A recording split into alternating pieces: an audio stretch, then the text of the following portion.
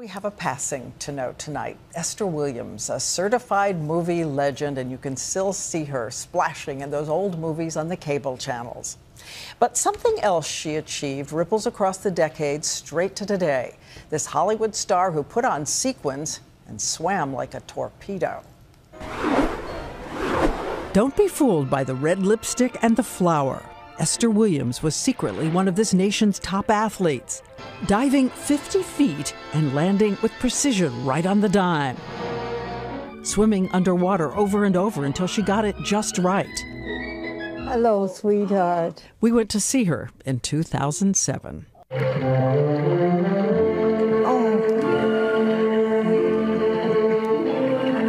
Oh. I'm back. I hear that music. I'm back in the pool. She laughed about Hollywood and the secret of that perfect hair and mascara. It's Vaseline.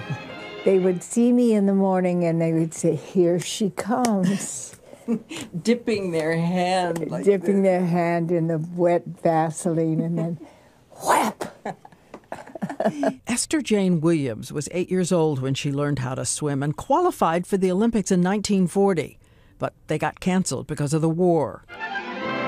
For an entire decade, she reigned as one of the biggest stars, even though that 50 foot dive from Million Dollar Mermaid put her in a body cast. It cracked her vertebrae as she hit the water. And in this scene, she got trapped in the clamshell, unable to breathe when it wouldn't open. I said, It's not time for me to go. And I worked it and I opened that clamshell and I swam out. She was also one of the first stars to turn a trademark those bathing suits into a big business. And in part because of her pressure, synchronized swimming became an Olympic sport in 1984.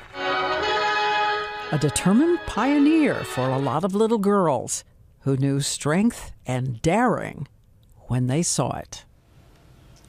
And one of those little girls was a little girl in Louisville, Kentucky who remembers being inspired by her. And thank you, Miss Williams, for our day at the pool.